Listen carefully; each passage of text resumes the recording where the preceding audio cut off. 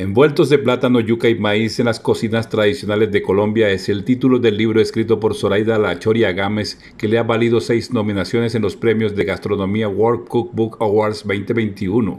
Feliz y orgulloso de tener ese, ese ¿cómo es? esa importancia en nuestra cocina, nuestro trabajo, de nuestros envueltos y también porque es un apoyo también para nuestros campesinos que a la cual nos traen el, el proveer para elaborar nuestros envueltos.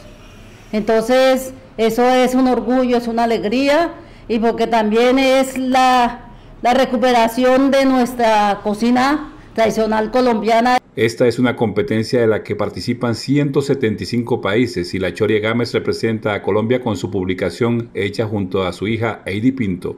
Es importante porque nos da visibilidad tanto como cocineras tradicionales que somos y también a la editorial que, con la que estamos trabajando en el proyecto de este libro. Los retos es eh, eh, que, todo el mundo lo compre, que todo el mundo lo tenga, que todo el mundo lo, estudie y aprenda. el reto es ese, que la gente eh, capte el mensaje que queremos dar eh, en cuestión de, aprender lo que son los envueltos en, nuestro país. El libro de la Choria Gámez recoge más de 40 recetas y que ahora con estas seis nominaciones le dan un reconocimiento en la cocina mundial.